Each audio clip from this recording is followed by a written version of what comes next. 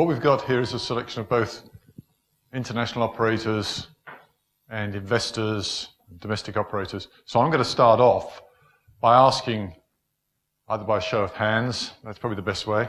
Um, look, give me a yes or no answer to this question. Um, are internationally branded uh, hotels perceived as better investments by um, investors, lenders, and developers?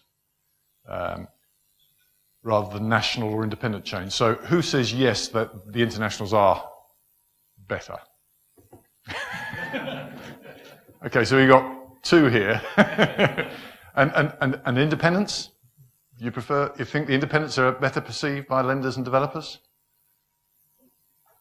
Domestic is, domestic is preferred, yes? Okay. Now I'm going to, I'm going to ask, so we've got three to one at the moment. Two, three to two, all right. Now, if I ask the audience at the beginning of this, what, what's your view? If I said it's the internationals are better than the domestics, what sort of uh, number of hands am I going to see coming up in the room? So this is, are the domestics, I, I'm, I'm, I'm reversing this, right? I'm saying, are the domestics perceived as better than the internationals first? So who puts their hands up and thinks the domestics are better than the internationals? Two, three, okay, four. So who thinks the internationals are better than the domestics? Uh, Ah, okay, okay. Uh, we're going to have that problem, yes, I know. But, but at the moment, there seem to be uh, far more hands for the international. Right, okay, so we've got a bit of a discussion. What I'm trying to do is get a feel whether anything these guys say makes a difference to your opinion by the time we finish this. Um, so, what, I mean, let's start off with the obvious thing. What, what are the benefits in your minds? And I'll start with you, Gaurav. What, what are the benefits of uh, an international branding compared with a national branding? What's quick summary? Um, I think to to summarize, at the end of the day, what the owners most interested in is how we're going to help drive revenue into the hotels. And the brand comes with it. Um, with the brand, obviously, comes a distribution system, and and it's at the end of the day, one of the most important factors is what level of business, through the brand recognition, the global distribution, an international operator can drive into um, the hotel to drive a good return on investment for the owner. I'd also like to add, at least speaking for Accor, for us, yes, we're an international hotel company. Um, we do think international brands add a lot of value, but it's not just that. I think if you want to compete effectively, particularly in the economy and budget hotel market, you really have to have a strong on-ground presence. And it's the combination of the two that actually gives you that edge. It's, it's it's good to have an international brand, absolutely, but you need to back that up with a strong local infrastructure.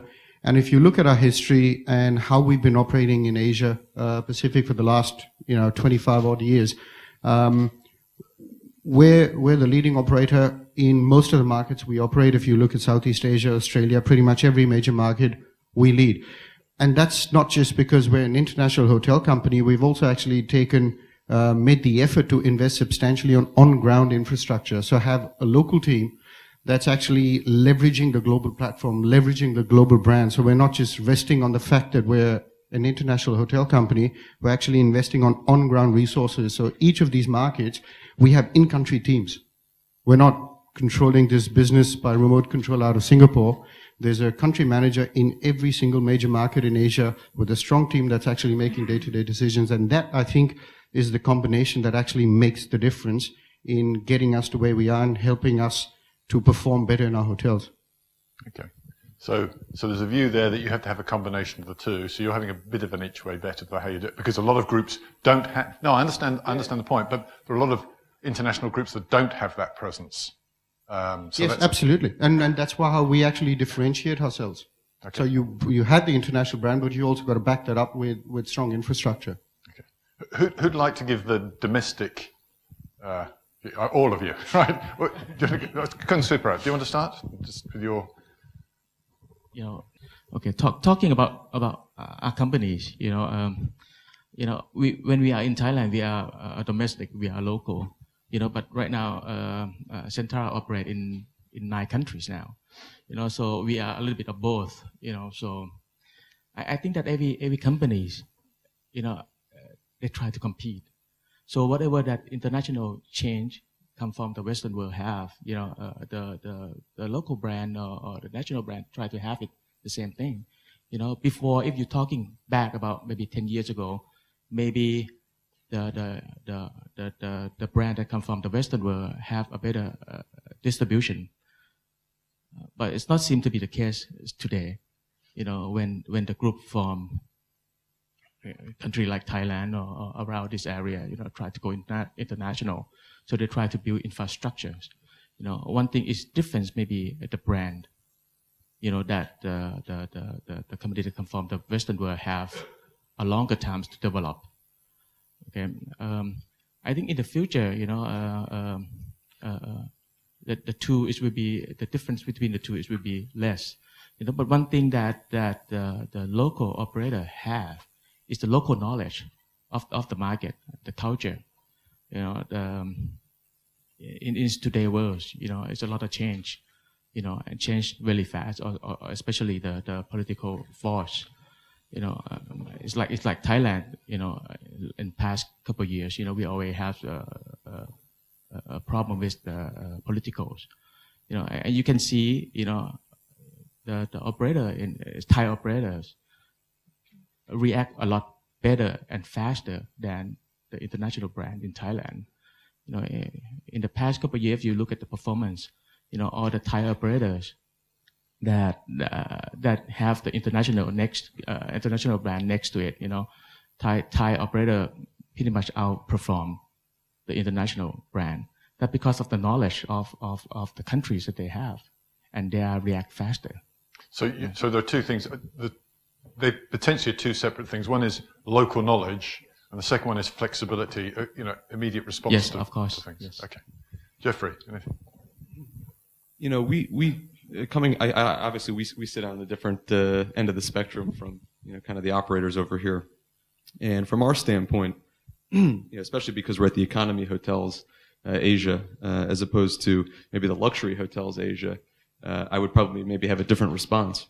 But uh, as it relates to economy hotels, our view has been with investments in, in seven days in China, in Red Fox and Lemon Tree in India, is that at, at the you know, lower end of the spectrum it, it, for, you know, budget economy hotels, the brand recognition for many of the guests who'd be staying at these hotels, uh, th- there is very little kind of international brand recognition. Many of these people have not traveled across the globe to take advantage of the networks that, you know, Accor and other uh, operators have. And so our, our view is, is uh, and again, we're more of an entity level investor. So being able to invest in these businesses, uh, which you ultimately can control the brand, build the brand.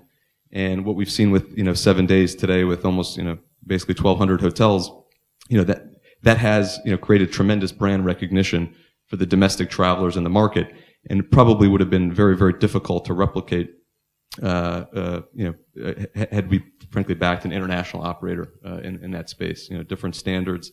We had more flexibility, uh, in, in, in the approach, uh, with, with, with seven days. And frankly, a similar experience uh, in India as well, uh, where we've created uh, the brand recognition that I think, frankly, a lot of the international operators have, have struggled with.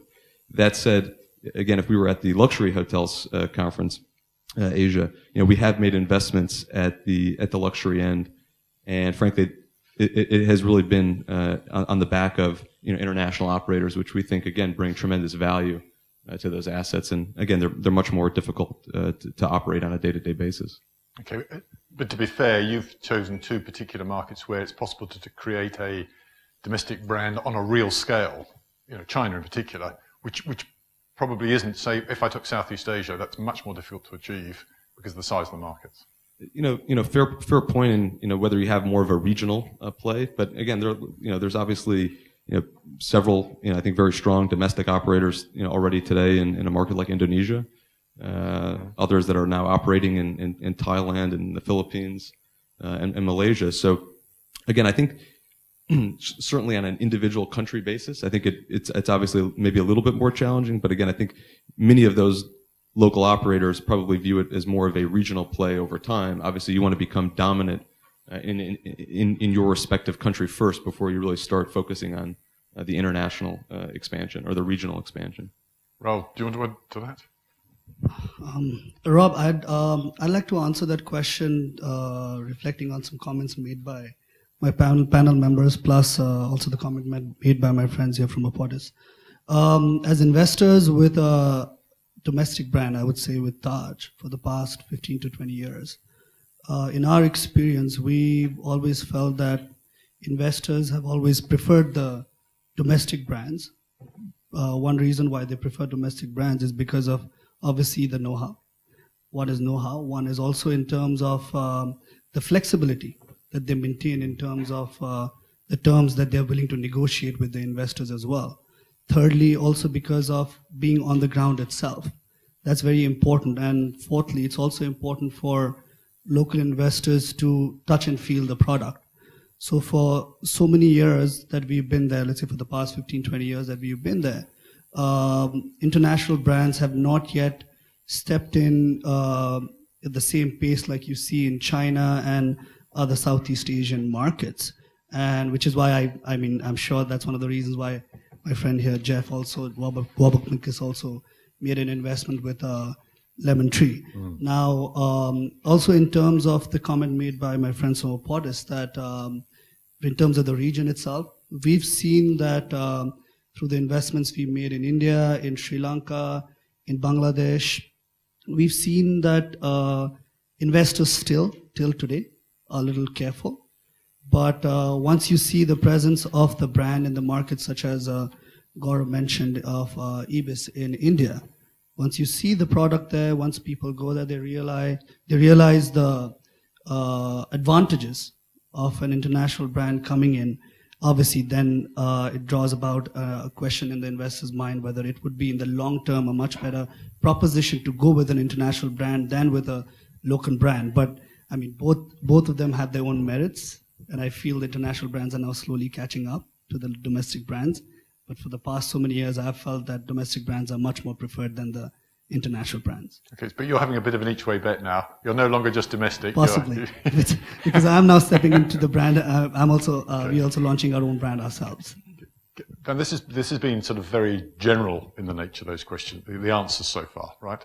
So if I if I now start, uh, you know, honing down into some detailed things like, you know, deliberately uh, difficult questions like, hasn't a domestic brand got more at stake or, or, a, or a smaller brand got more at stake when they take a management contract on than an international brand. An international brand is one of a thousand products. Isn't, isn't that an issue? I mean, doesn't a domestic brand take personal ownership relatively to an international one? Do you want to? Um, in some cases, yes, but I, I, I don't think you can actually generalize that. And I can, I can tell you, we spend an enormous amount of time and effort uh, tailoring our product to meet the local market. So if you go to an Ibis in, in China versus Indonesia versus India, it's still very much positioned in the same uh, segment. The value proposition is the same, but you will find subtle differences in the product that go very much to meeting the customer's needs. We, it's, it's not a choice. It is what the market wants. It's what the market needs. And if we want to maintain a strong leadership position and be a strong player in each of these markets, that's what we have to do.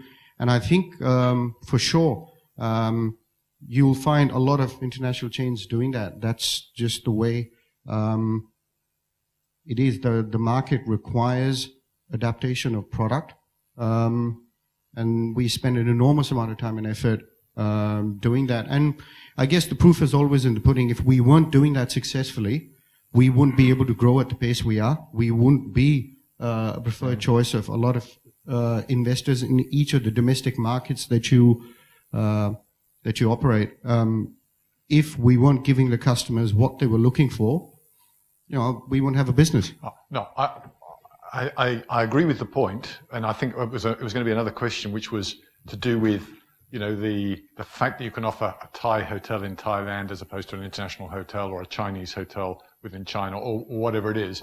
I, I, wasn't quite driving at that, and I think you know that. I, what I was driving at was if you've got thousands of hotels that are being run out, that, that rolled out, it's a different proposition to having just a handful where you have more personal responsibility, where someone can go to the operator's chairman or, or managing director and go, fix this problem. Uh, I'm just saying there's a difference in responsibility potentially. Sure, I understand, but I think um, you've got to take a step back and look broadly at what the bulk of the market wants. Um, and we've done some research, which which Michael um, presented yesterday.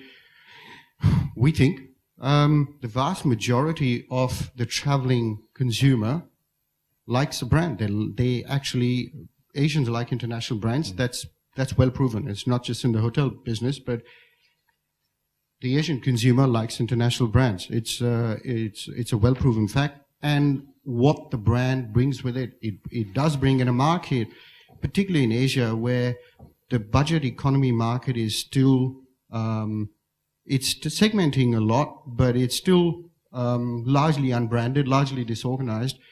The surety and the consistency and the promise that the brand brings holds a lot of value. Yeah. And I don't think that's that that's a hard uh, fact to deny. Otherwise, again, you know, you always look at um, the, the, the the proof is in the pudding, and and in the result of what international brands are being able to deliver um, in operating performance. That's what the consumer. We think that's what the consumer wants, and we have we've done a lot of work to to actually prove that up. Just to um, uh, supplement what Gaurav said, um, uh, I agree that uh, the local domestic brands have a lot to the newer ones that are coming online every every other day have a, have much more to lose when they are launching their brand or their company. Um, I mean, I know of ten different brands and management companies that come online every single day, but they fail because their first or second product is not up to the mark or uh, up to the standard standards of the international brands. Which is why I mean, take an example from our from our own experience. So we've just launched our brand, and we ourselves were on a, a fast growth um, platform to develop properties all across India.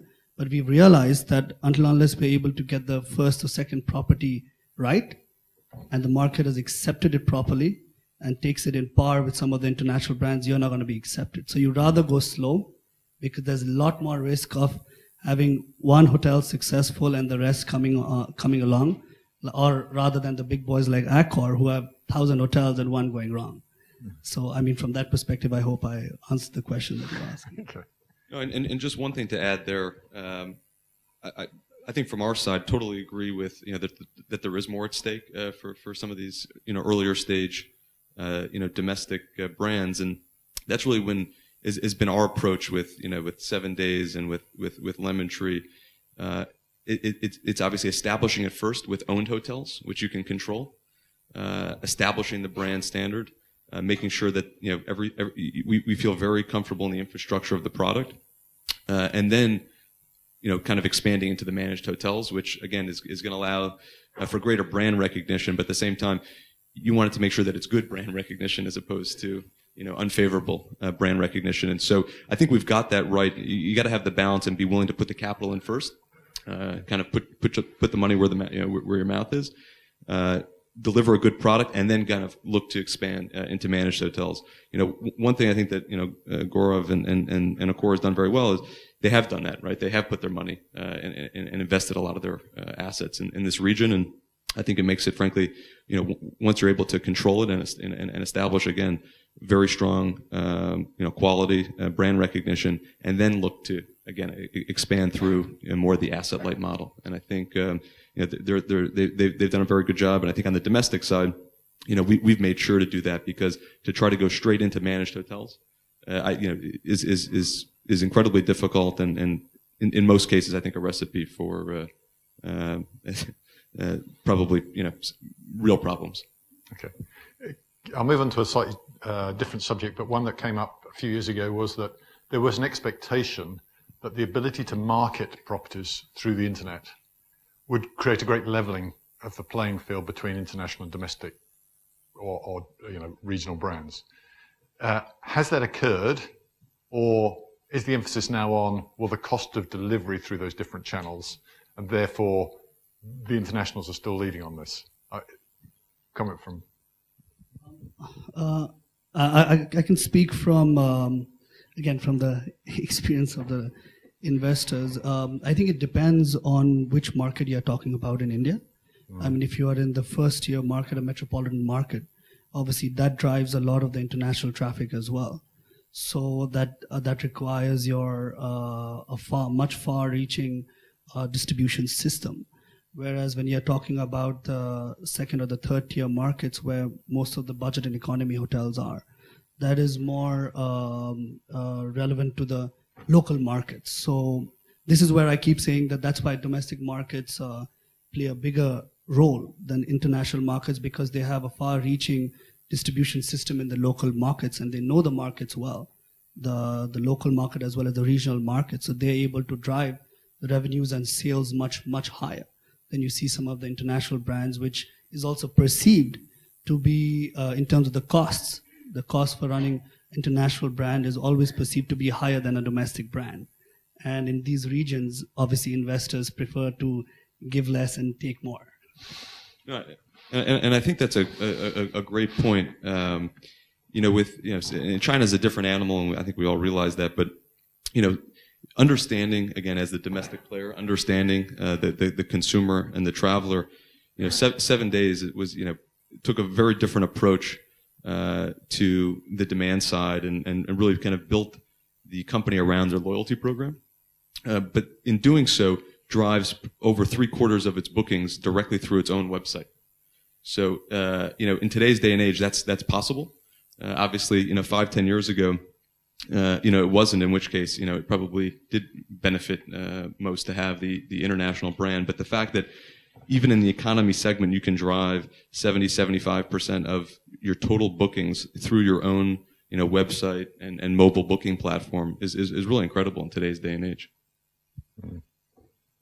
So, okay, but there's still that different in cost of delivery between the smaller uh, local brands than there is the international, because it was perceived to be a, a, complete opening of the of the market a few years ago, and now the argument, particularly from the internationals, is oh well, we can deliver it cheaper because we go through our own websites, or we get a cheaper rate on some of the big uh, travel websites. Is that still the, that's still valid, or you know?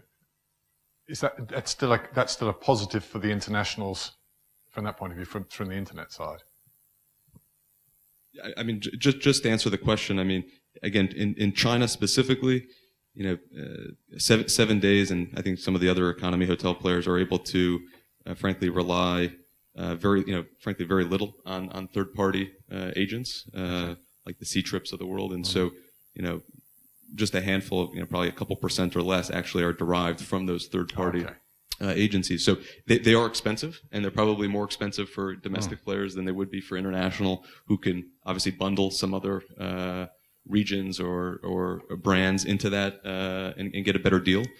Uh, but fortunately, uh, for, for, for the business where again you can drive most of your business through your own website, your own mobile booking uh, system, your own call center, uh, you, you, don't you don't really have to rely as much on uh, the expensive kind of third party uh, agents, which again for domestic players would be would be more expensive. I think that's right. Maybe I can I can add to that. Um, I think um, just following up from what Jeff said, um, I think China is actually quite unique, and the large um, domestic hotel companies like um, Seven Days and Hanting and Home Inn have created an incredible position for themselves in, in dominating that market um, and do very effectively um, get a lot of distribution through their own distribution channels. I think when you step out of China, the landscape is quite different for the reasons you mentioned, Rob. And I would say um, when we look at our networks and where we're distributing through our own um, global distribution channels, somewhere between 25 to up to 50, 60% of the entire business of the hotel through our own distribution channels. It's, it is a powerful proposition and I'm, I, I would say it's unlikely that a lot of domestic hotel companies can do that simply because it's hard to build that scale to invest that sort of money in your distribution channels to be able to get that sort of impact. It's very, very expensive to actually build um, those distribution channels. It, it takes a lot of time and effort and money. So because China is such a large market in itself, and the domestic players have actually created a very good position for themselves very quickly, very efficiently over the last few years. Um, it is a slightly different situation to when we look across the rest of Asia Pacific.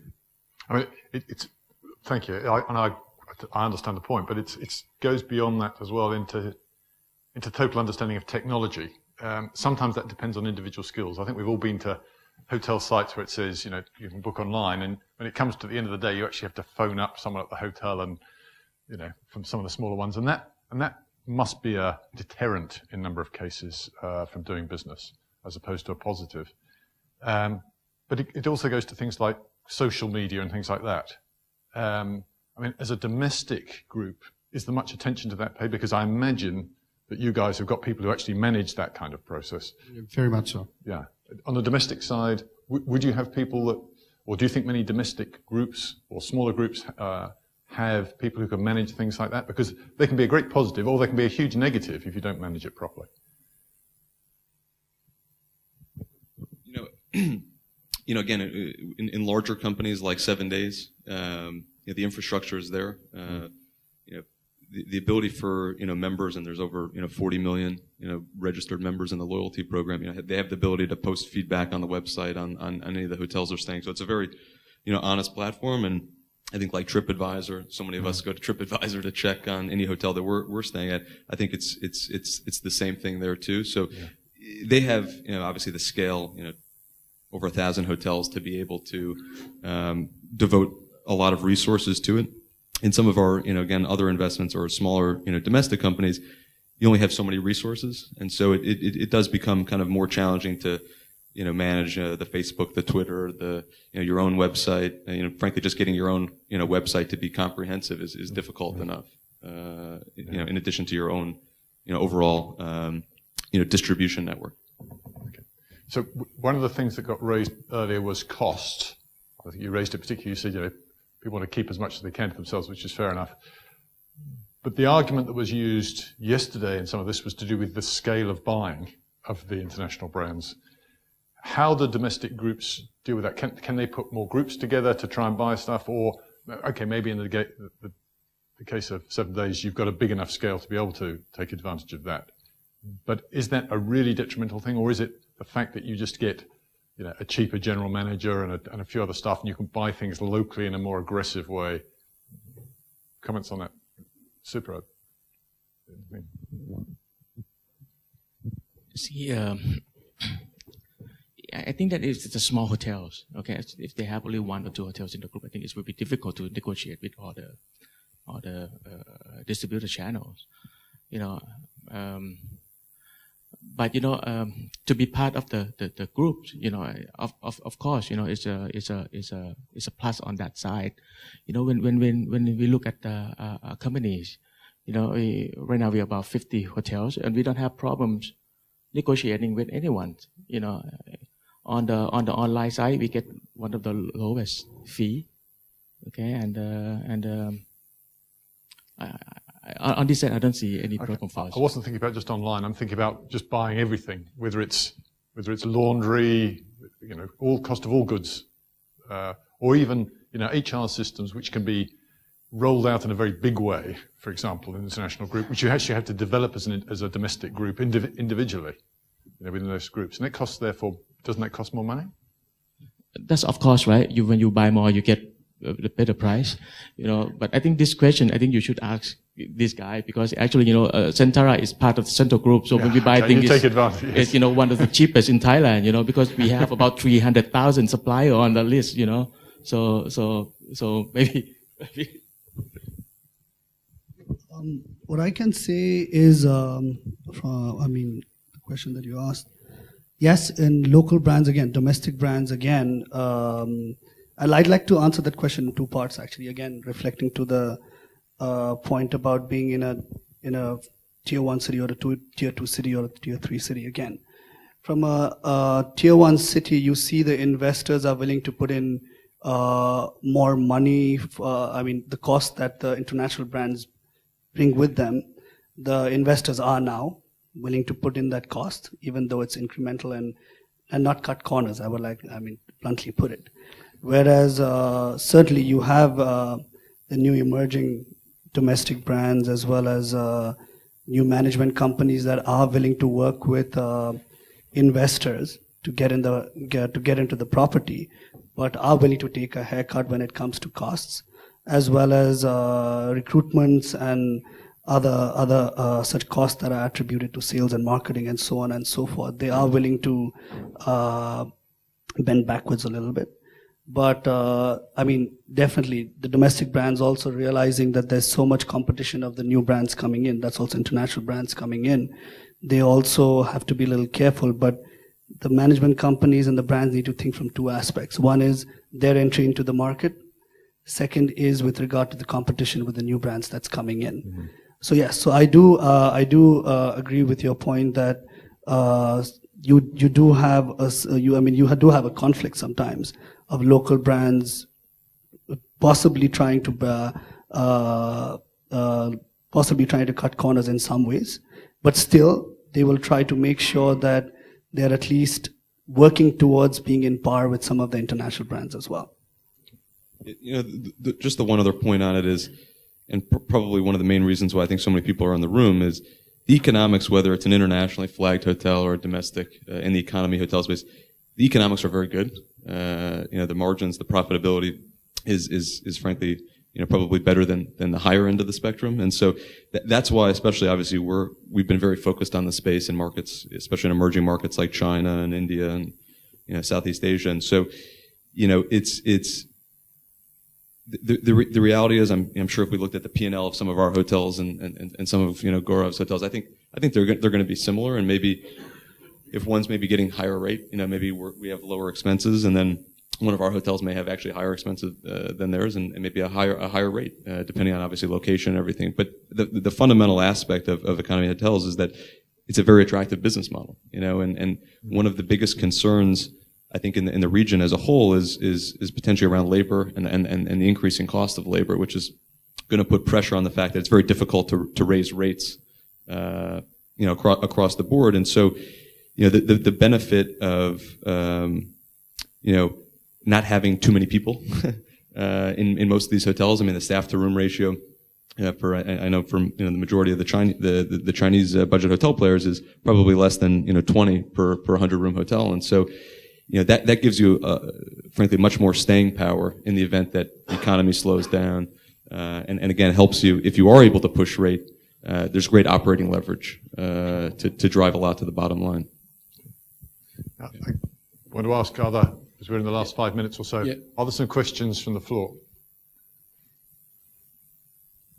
Uh, I'd actually like to make a po- uh, statement on the last point on uh, costs. I think if you're a hard negotiator, it really doesn't make a difference. Uh, I've been doing it, and the thing is that if you're an international chain and you're getting uh, uh, specific prices, does it really get passed on to the developer uh, in reducing the cost of the product itself? Generally, it's a square off. The fees of uh, large chains compensates, and you end up with the same thing.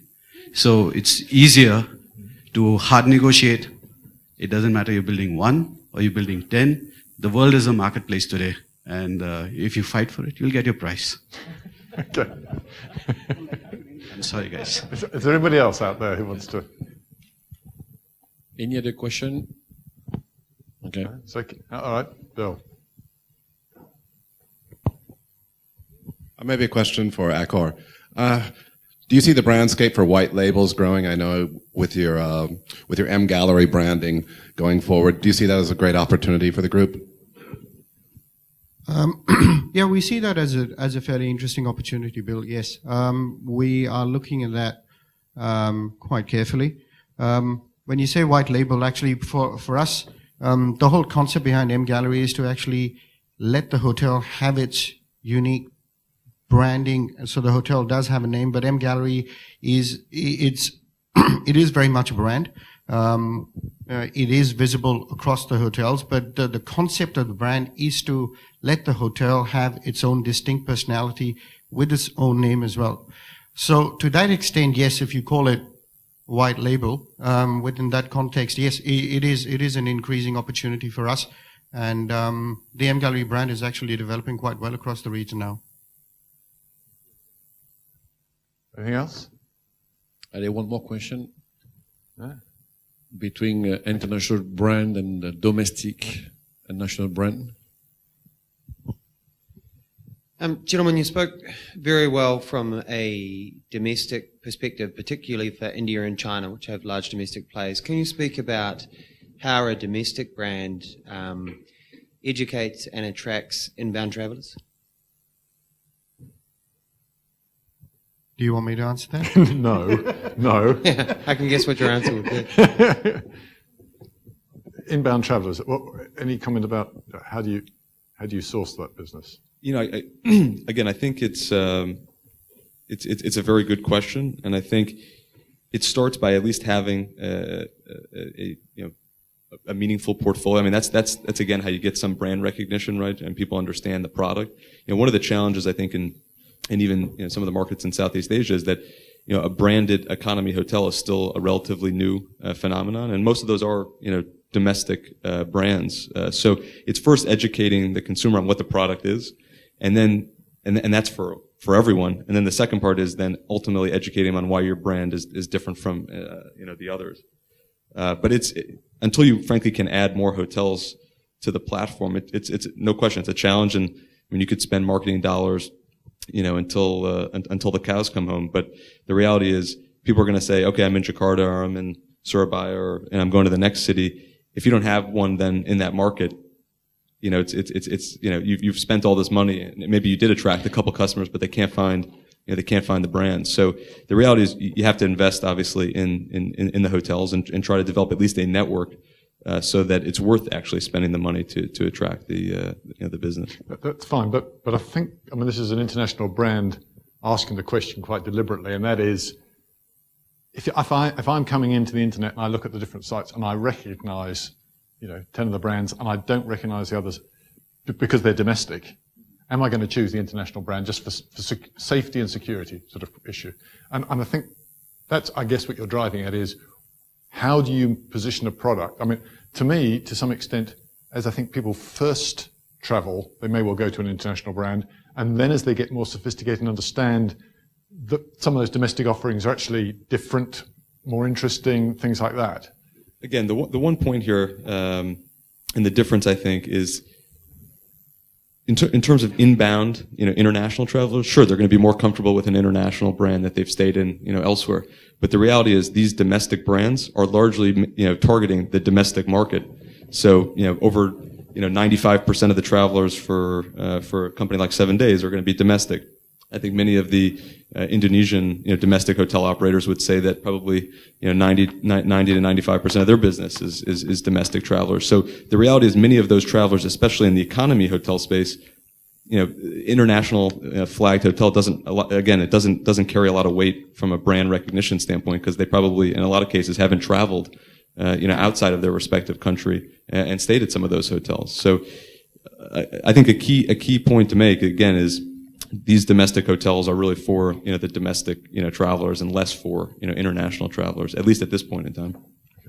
Maybe i can just quickly follow up on that with with respect i actually disagree a bit uh, because again china is a very unique large domestic market. When you step outside into the rest of asia I can assure you we drive a fairly large amount of our traffic in economy hotels as part of the intra-Asia and even uh, international uh, business coming in from Europe, and it's not a small proportion. So, and particularly as intra-Asia travel grows uh, with the advent of low-cost carriers across Southeast Asia and India, um, we're driving a very, very healthy proportion of that through our distribution channel. So again, I think you really need to look at where you are, which market you're in, and what the focus of uh, and where that traffic is coming from, because even the tier two cities in Asia are actually driving a reasonable proportion of intra-Asian traffic. I, am going to have okay. to. Robert, I think uh, time is over. Yes, exactly. still the dilemma between uh, domestic and international. So leave the, everybody to to judge by themselves. Okay, so thank you, thank you, Robert, uh, and uh, a big applaud for all the panelists.